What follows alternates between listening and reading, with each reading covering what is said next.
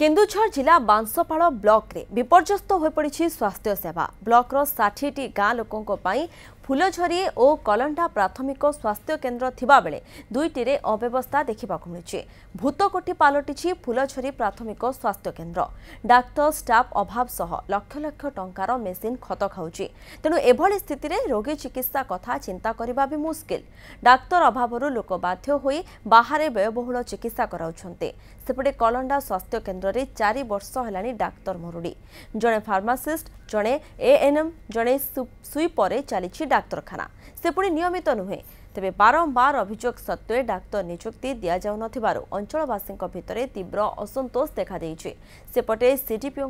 গোটিয়ে উত্তর খুব শীঘ্র সমাধান করা যাব ডক্টর তো নাহাতে ফার্মাসিটি রয়েছে ইয়ে বাঁশপাড় যা আসা করছেন চৌদ মশিয়ার নাহাতে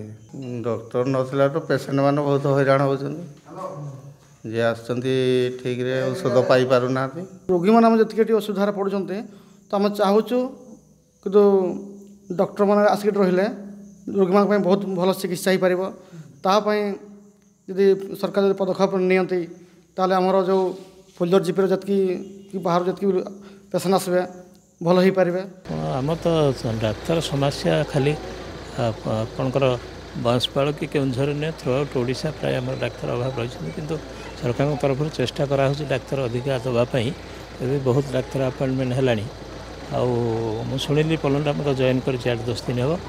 ତେଣୁ ଗ୍ରାଜୁଆଲି ଗ୍ରାଜୁଆଲି ସବୁଆଡ଼େ ଆମର ଡାକ୍ତର ପ୍ରାୟ ଆମେ ଆଭେଲେବୁଲ୍ କରିଦେବୁ